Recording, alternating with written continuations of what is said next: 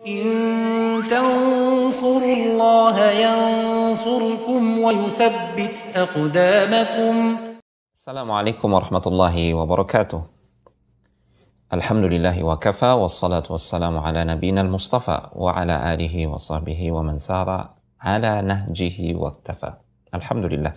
Kita memuji Allah Tabaraka wa Ta'ala. Kita bersyukur kepadanya karena kita masih diberikan kesehatan, keluangan waktu, serta taufik untuk uh, menuntut ilmu syar'i. Kita masih dengan kitab Khulasatu Ta'zimil Ilmi karya Syekh Dr. Saleh Al-Usaimi hafizahullah taala.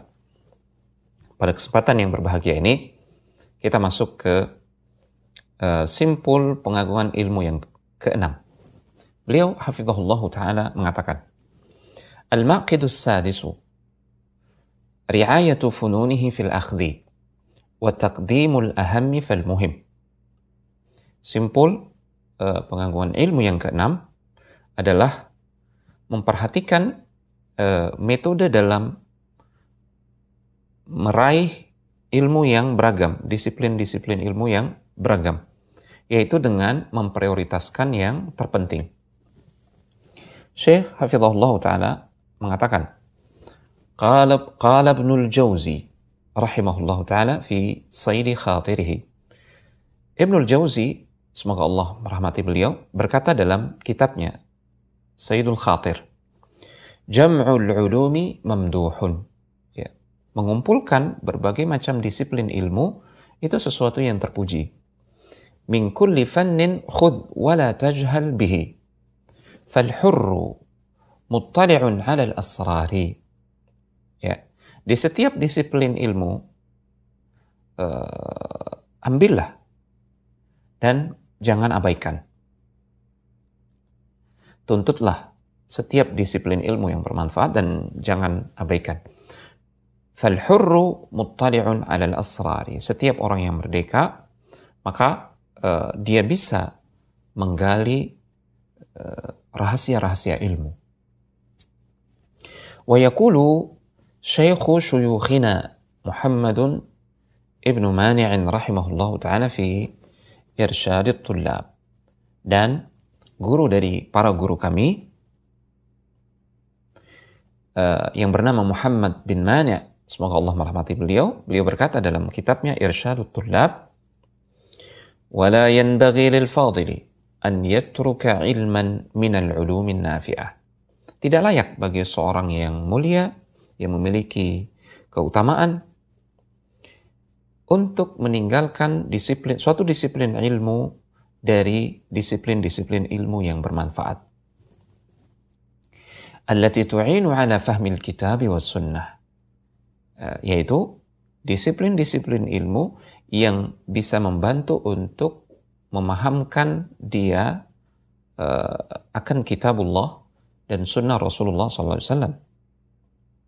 Idza kana ya'lamu min nafsihi quwwatan ala ta'allumihi. Itu jika dia e, mengetahui dirinya memiliki kemampuan, kapabilitas untuk mempelajari cabang-cabang ilmu tersebut atau disiplin-disiplin ilmu yang banyak tersebut yang bisa membantu dia dalam rangka memahami kitabullah dan sunnah Rasulullah sallallahu alaihi wasallam.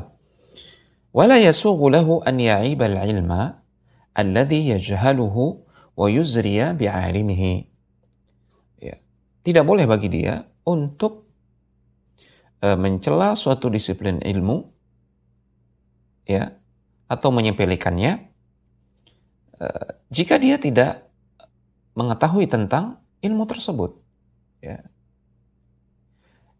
Dan tidak boleh bagi dia untuk meremehkan uh, orang yang berilmu tentang disiplin ilmu tersebut yang mana dia jahil tentangnya yang mana dia tidak mengetahuinya. Tidak boleh. Fa inna hadha naqsun wa radilah. Karena yang demikian ini adalah sifat kurang dan sifat celah. Fal'aqilu yanbaghi lahu an yatakallama bi'ilmin. Seorang yang berakal ya tidak bisa tidak. Uh, dia harus wajib atau wajib bagi dia untuk bicara eh, atas dasar ilmu, atas dasar pengetahuan.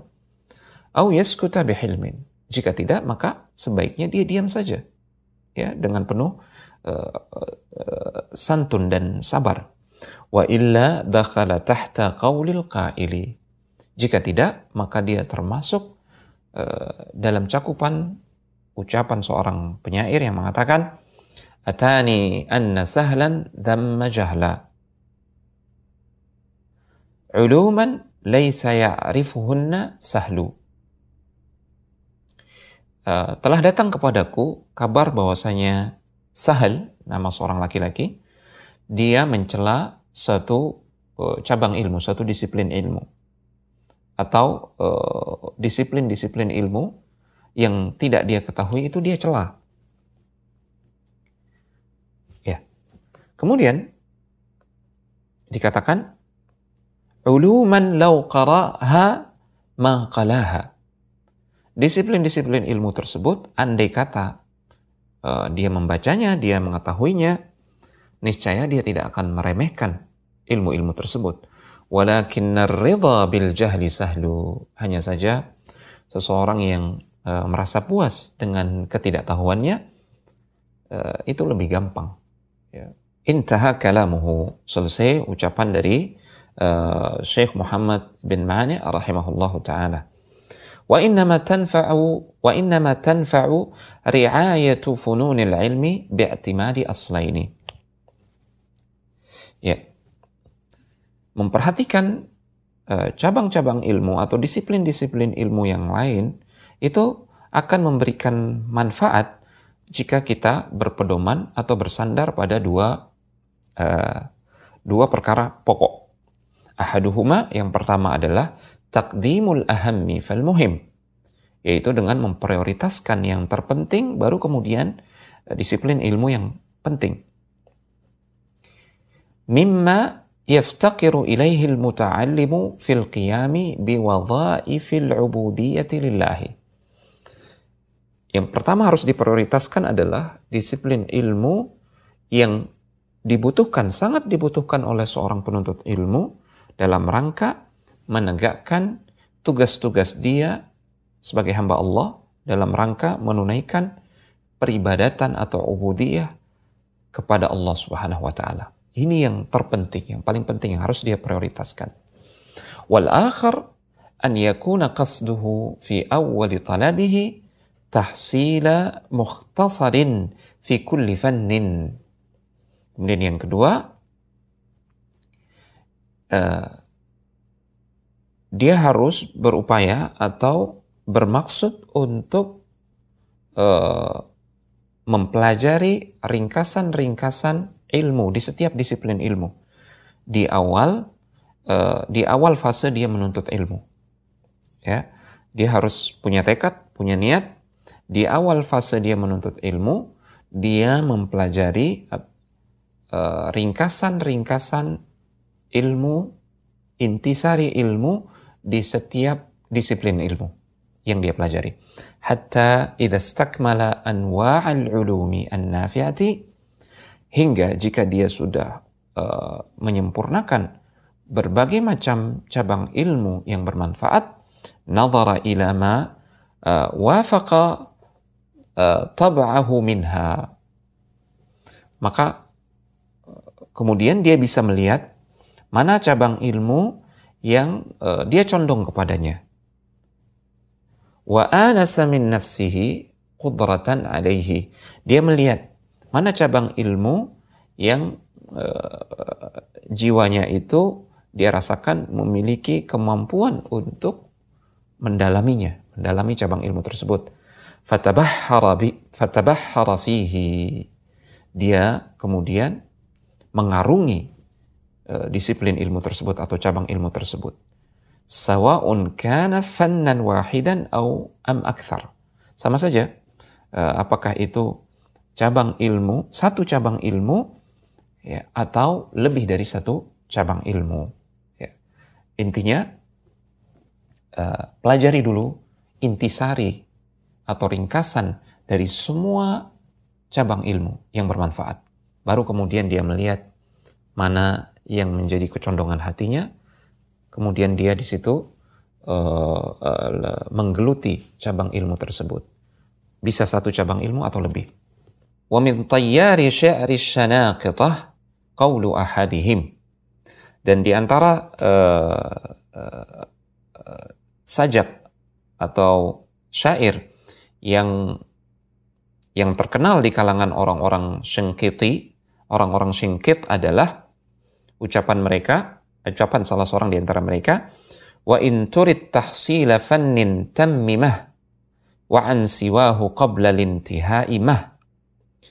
Uh, jika engkau ingin menguasai satu disiplin ilmu, maka tuntaskan dulu mempelajari satu disiplin ilmu tersebut. Dan jangan berpaling kepada uh, disiplin ilmu yang lain sebelum engkau menuntaskan sebelum engkau menuntaskannya, menyempurnakannya. Ya. Wa fi taradufil ulumil man'uja in aman istabaqa lan yakhruja. Ya. Karena mempelajari lebih dari satu disiplin ilmu eh, setengah-setengah ya sebelum menyempurnakan satu disiplin ilmu, dia sudah mempelajari disiplin ilmu yang lain, mempelajarinya secara bersamaan, uh, itu tidak akan menghasilkan uh, manfaat yang berarti. Justru akan mencegah dia dari meraih ilmu tersebut. Seperti dua bayi kembar yang ingin keluar dari rahim ibunya secara berbarengan, maka tidak akan keluar. Ya harus satu persatu terlebih dahulu. Man arafa min nafsihi qudratan 'ala al-jam'i jama'a.